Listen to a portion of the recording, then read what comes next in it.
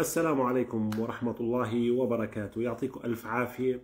آه، بالأمس ما كان عندنا آه، آه، صباح الخير في الصباح ما طلعنا بفيديو. طبعا بسبب انشغالنا بتحضيرات للورشة التي ستقام اليوم ورشة القراءة السريعة.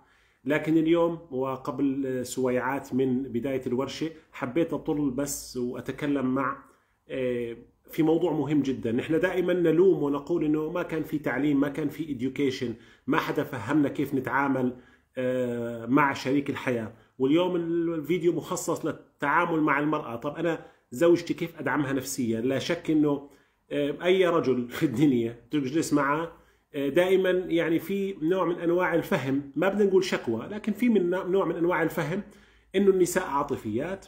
إنه آه، صعب تعرف شو شو في براسهم إنهم بيفكروا في مليون موضوع في نفس الوقت. وبالتالي في شعور دائما بالعجز من الرجل إنه يقدر يسيطر أو يفهم أو آه، مرات بدنا ناخذ الموضوع بحسن النية إنه قد يكون أنا كرجل غير قادر أو غير فاهم كيف بقدر أدعم امرأة عندها مشاعر بتبكي في لحظة من اللحظات. النساء عندهم قدرة رهيبة على التحمل بتتحمل بتتحمل بتتحمل بتتحمل أكثر بكثير من الرجال. وهي ربنا له له حكمة فيها لأنه هي موضوع الولادة والحمل وتسع شهور وموضوع الدورة الشهرية اللي بتيجي كل شهر والتغييرات الهرمونية وبعدين الرضاعة وبعدين تسهر على أولادها وتصحى بالليل ووع وويع. فكل هالأمور سبحان الذي خلق. ربنا حط فيها قدرة تحمل عالية جدا. لكن وين المشكلة؟ إنه هي إنسان في النهاية إنسان. فبالتالي تحمل تحمل تحمل تحمل. في لحظة من اللحظات بصير معها شغلة بيسموها اوفر يعني بتصير مغمورة بالمشاعر. فبالتالي فجأة بتصير تبكي فجأة بتحس حالها متنكدة مخنوقة مش قادرة. فجأة بتحس إنه ما إلها قيمة. فجأة بتحس إنه عم تضيع وقتها على الفاضي. فجأة بتحس إنه هاي التضحيات ممكن تكون على حساب صحتها على حساب شبابها. بتحس بفقدان التقدير. وقد يكون هذا الشيء صحيح عشان ما نلومهم. قد يكون هذا الشيء صحيح. ولكن من جهة أخرى هلأ سؤال أنا كرجل إيه، آخر من يعلم بكل هالأمور. السؤال اللي اليوم لما بتمر المرأة بهذه المرحلة شو اللي لازم أعمله؟ أنا راح أعطيكم يعني تفاصيل صغيرة. صدقني والله أمور بسيطة بتفرق مع المرأة. وراح نعطي فيديو كمان أمور بسيطة تفرق مع الرجل لأنه نحن ما بدنا نتكلم ونعمل عداء. ما فيش عداء فيش شيء اسمه رجل ولا وقوامون وقاعدون ونقعد نفسر زي ما بدنا ونقعد نحط هدول آه، ضد هدول. لا إحنا مع بعض نحن إحنا متشاركين في صناعة هذه الحياة. مبدئيا أقول في حال إنك أنت بديت تحس إنه زوجتك مزاجها تغير سحنتها تغيرت آه، وبديت تحس إنه أها بكرة النكد بكرة حسيت إنه البوادر صارت معروفة. اولا أريد أن منك شيء واحد. انتظر حتى تفتح هي فمها. تبدأ هي تحكي. ولما تحكي شيل المنطق حطه على جنب. شيل المنطق تماما. خبيه روح في الخزانة افتح درج حط المنطق وسكره. وارجع مرة ثانية واعرف إنك الآن ستقدم دعم نفسي ودعم لمشاعرها. أفضل طريقة لهذا الموضوع اولا انتبه عليها بكل حواسك. انظر لها وانتبه عليها بكل حواسك. فهي راح تبلش تحكي. ثانيا شجعها إنها تحكي. بس كيف اشجعها إنها تحكي؟ شجعها إنها تحكي عن مشاعرها. كيف يا دكتور؟ يعني أقولها يلا احكي لي عن مشاعرك؟ لا. بالسؤال شو شعورك؟ بإيش حاسة؟ ليش متضايقة؟ احكي لي أنا حابب أسمع. يا سلام يا سلام. شو بتفرق معهم هالكلمة؟ بتفرق كثير. إني أنا حابب أسمع. إني أنا مهتم. يا سيدي أقول لك من جوا لا تهتمش. ما تهتم كثير ما بدنا نقعد نحمل الناس فوق طاقتها. ما أنت كمان عندك مشاكل. أنت كمان أنا عارف أنا عارف والله عارف. عارف قديش عندك ضغوطات. بس معلش لأنك أنت بحاجتها. وهي بحاجتك. هي هذا هذا عقد. هذا تشارك. فبالتالي بدك تقدم عشان تاخذ وبدك تاخذ عشان تعطي. فبالتالي أنا حابب أسمعك. في اللحظة اللي بتبلش تفتح تمها شيل من بالك تماما رجاء رجاء مهما كان الكلام غير منطقي مهما كان الكلام هجومي عم تتهجم عليك بتقول إنت وإنت وإنت. شيل من بالك تماما الأسلوب الدفاعي لا تدافع. اسمع. طيب حكت حكت حكت. قولها كمان أنا حاسس إنه لسه عندك حكي. طلع طلع طلع كل هالشغلات. ليش؟ هاي الأمور إذا ما طلعت تتراكم وإذا تراكمت بتصير مشاكل أكبر. والمرأة تدخل في مشاكل نفسية. النساء أكثر عرضة للاكتئاب وأكثر عرضة للإصابة بالانكزايتي وكل أنواعها اللي هو القلق المرضي. خليها تطلع اللي عندها. لعلمك الخاص هي لا تبحث عندك عن حلول هي لا تريد حلول هي قاعدة بس بدها تحكي بدها تطلع لأنها مشحونة مشحونة مشحونة. في نساء كثير ما بتقدر تقول يا عمي أنا وصلت لمرحلة مش طايقة أولادي من كثر ما هم ضاغطيني نفسيا. لأنها بتحب أولادها. لكن حابة إنها تنفس. يا أخي خليها تنفس خليها تطلع. ثانيا بعد ما تسمع كل شيء وتقولها هيك أنت متأكدة إنك خلصتي طب ضل إشي ثاني أول شغلة بتعملها أول كلمة بتطلع من فمك قولها إنك متفهم. أنا فاهم. وأكد على كلامها. والله معك حق. فعلا المسؤوليه كبيرة. الله يعينك. تعرفي أنا مرات بفكر في اللي أنت بتعمليه أنا ما بقدر أعمله. ما شاء الله عليك. عندك قدرات رهيبة. بتعرفي قديش نحن مستفيدين من وجودك في حياتنا؟ هذا دعم نفسي. طب انت مش مت يعني مش مش حاسس انه معلش اعصر على حالك ليمونه واحكي هالكلام لأنك انت مش حاسس بكمية العذاب والألم والضغط النفسي اللي عايشته المرأة. وراح نحكي على الرجل كمان لأنه أنت كمان مش حاسة شو هو عنده مشاكل. أنت بتشوفيه قاعد وهو على التلفزيون وبيعملش شيء وهذا وأنت مش عارفة شو بدور براسه. اوه قصة قصة. عالم في رأس الرجل. ولقمة العيش و و و وشعوره بالانسكيورتي وإنه هو عم بيكبر وإنه عم بيضيع عمره ولا لأ وإنه هو بس قاعد بيشتغل لأولاده ولأهله. فبالتالي هو كمان عنده insecurity بس بدنا ندعم بعض. رح نعمل اليوم فيديو للمرأة. كيف ندعمها نفسيا وبعدين فيديو للرجل لأنه الطريقتين مختلفتين تماما.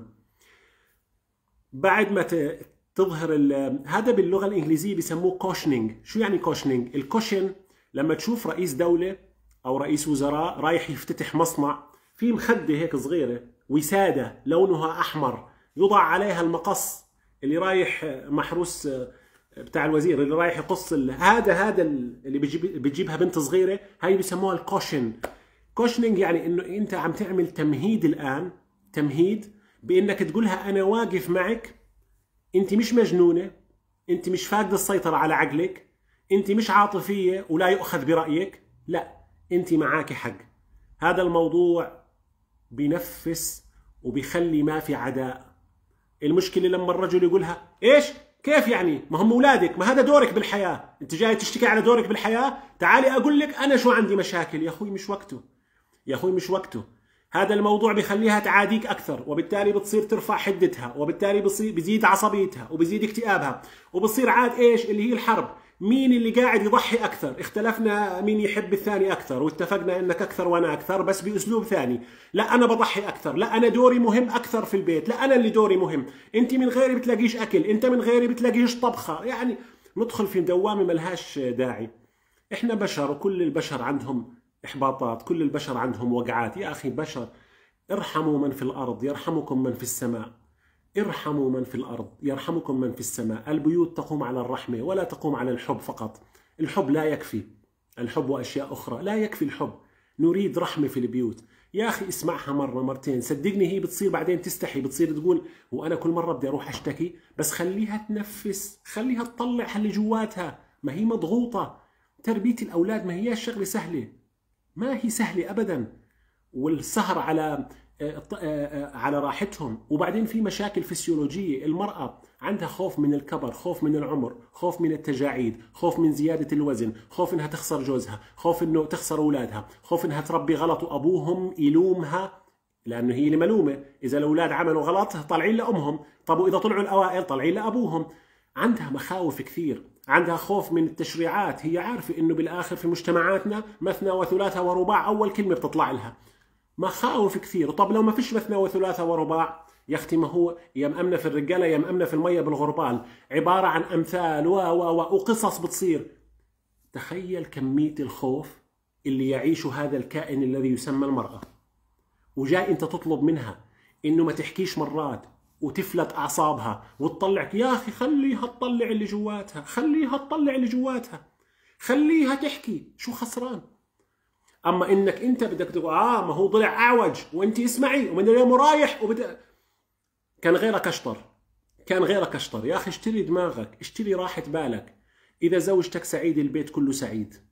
إذا زوجتك آه، آه، مرتاحة أنت شوف الزوجة إذا ارتاحت أنت مرتاح من هموم والله أنت ما أنت عارف فيها. في هموم كتير هي شايليتها في هموم كتير أنت شا... دير بالك.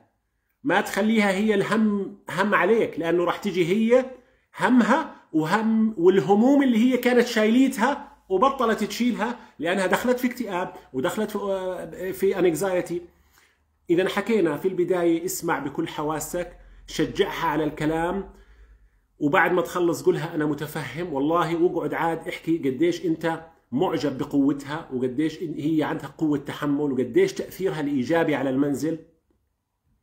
النقطة الرابعة من وجهة نظرك شو ممكن نغير عشان أساعدك؟ كيف ممكن أغير عشان أساعدك؟ كيف ممكن أساعدك أكثر؟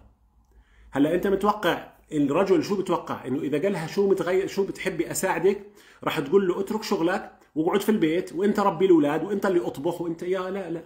هي مش حتقول هيك. تعرف ليش؟ لأنه إذا هي ما عملت هاي الأمور ما بتحس بوجودها.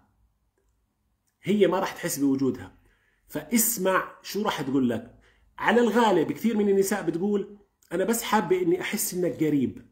أنا حابة أحس إني موجودة في حياتك. أنا بدي بس شوية اهتمام. يا أخي هالكلمتين اللي بدها تحكيهم أنت بمجرد أصلا إنك سمعتها أعطيتها الاهتمام. فقولها أنا جاهز وأنا حاضر وامتى ما حسيتي إنك حابة تحكي احكي لي. وأنا ما إلي غيرك وأنت ماليش غير وأنت مالكيش غيري. وشوف النتيجة. شوف النتيجة. أما إني أقعد ولا مش من حقك تشكي. وشوفي أنا بروح على الشغل عمري فتحت ثمي. عمرك شفتيني بشتكي؟ أنت بدك مش تتحملي مسؤولية؟ بس بدك ترمي مسؤولية علي. لا يا سيدي يا سيدي المواضيع مختلفة. هذه امرأة وأنت رجل. في النهاية نحن الاثنين تجمعنا البشرية تجمعنا الإنسانية تجمعنا يجمعنا الضعف الذي يدل على الإنسانية. كل إنسان ضعيف. كل إنسان ضعيف. شاملة. فيش شيء اسمه إنسان قوي. في إنسان قادر على إنه يمر من ضعف لضعف بدون ما ينهار انهيار كامل. لكن كل إنسان ضعيف ضعيف تجاه احتياجاته ضعيف تجاه الزمن والعمر ضعيف تجاه الشعر الأبيض والوزن الزائد ضعيف تجاه التجاعيد ضعيف تجاه الموت ضعيف تجاه المرض ضعيف تجاه فقدان الناس والأحبة. إحنا ضعفاء. لكن في لحظات الضعف في واحد بده يسند واحد. اسندني بسندك ولما بدك تسند بدك تقدم السند الصحيح. مش تقول لا والله بدي أشد عليها وما بنفعش وبتقعديش تشكي ويا باي شو بتشكوا وانتوا يا باي وانتوا اكلي أكالين نكارين وبتنكروا المعروف. يعني بلاش بلاش هالموضوع. اشتري راحة دماغك. أنصت بكل حواسك. اسأل أكثر خليها تطلع كل اللي جواتها. خليها تفرغ هالشحنة. مش مطلوب منك أكثر من هيك. مش مطلوب منك أكثر من هيك. تأكد تماما إنه كل المطلوب منك إنك تسمع. أكثر شكوى بتيجي من معظم النساء شعورهم بالفراغ العاطفي. والفراغ العاطفي مش إنك تقعد مع مرتك وتقولها 24 ساعة إنها ب... إنك بتحبها. الفراغ العاطفي يعبأ بكلمة واحدة. أنا موجود جنبك. بس. حتى لو ما فتحت تمك ولا اقترحت ولا اقتراح. أنا موجود جنبك. معلش. انت ما فيش منك وطبيعي اللي بيصير معك. تربية مش سهلة. إن شاء الله أنت راح تكوني أم عظيمة. وبعدين أنت لما بتشجع أي إنسان وتتفائل فيه هذا الإنسان بصير يرفع من قدراته عشان ما يخيب أملك. طبيعي. لما تقولها أنا حاسس إنك أنت راح تكوني أفضل أم. والله أولادنا بكرة راح يدعوا لك. تذكريني بكرة كيف أولادنا راح يدعوا لك وقولي والله كانت عندي أم عظيمة. فبتصير هي بتقول آه آه مزبوط وبتصير بدها تدور على إنها تكون عظيمة. بدنا شوية تحفيز بدنا كلمة طيبة يا أخي. بكفي الحياة والأخبار والإشاعات والتفاهة اللي علينا. يعني بكفي. خلينا على الأقل في بيوتنا نلاقي هالمنفس إنه نلاقي واحد يسمعنا ويقول شدوا حيلكم. الله يعطيك العافية. شكرا. مش ثقيلة مش كبيرة صح؟ الله المستعان. لازم نروح نبلش نكمل تحضيرات لورشة القراءة السريعة. نتمنى لكم يوم جميل وسعيد. برجع بحكي مرة ثانية وأركز. التثقيف المعرفي السلوكي. أجمل هدية ممكن تعطيها لنفسك إنك تفهم ما الذي يدور في دماغك وكيفية تكوين الأفكار وكيف الأفكار تتحول إلى مشاعر وكيف المشاعر تغذي التصرفات وكيف التشوهات المعرفية بتلعب دور في انهيارك وعدم رغبتك في الحياة وعدم إيمانك بنفسك وكيف بنفس الطريقة إذا فهمتها ممكن تعزز ثقتك بنفسك ممكن ترفع من آه، قدراتك ممكن تتجنب الأمراض النفسية. هاي جمالية هذا الكورس اللي هو اونلاين والكل بيقدر يسجل فيه. راح نترك لكم الروابط في أعلى الفيديو للفيسبوك وفي وصف الفيديو لليوتيوب. شكرا لكم. السلام عليكم ورحمة الله وبركاته.